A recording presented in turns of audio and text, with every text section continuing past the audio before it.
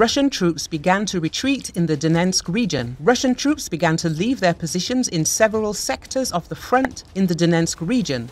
A source told it to Novaya Gazeta outlet in the grouping of Russian troops in Ukraine.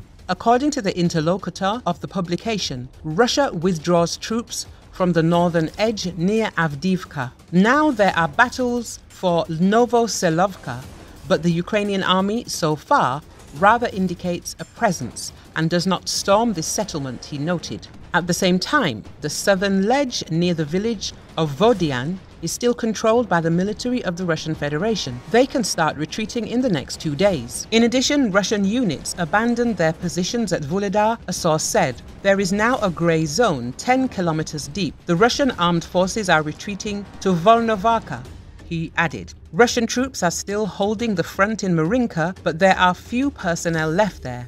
In Bakhmut, the armed forces of Ukraine began taking back the quarters in the center previously taken by the Wagnerites, the source said. According to him, the Ukrainian military is moving slowly but successfully. Apparently, the Russian armed forces north and south of Bakhmut are preparing to withdraw, he concludes. Leaving positions means the end of the Russian offensive. Russian troops have exhausted their offensive potential and switched to defense. Alexander Musienko, head of the Center for Military Legal Research, told the publication.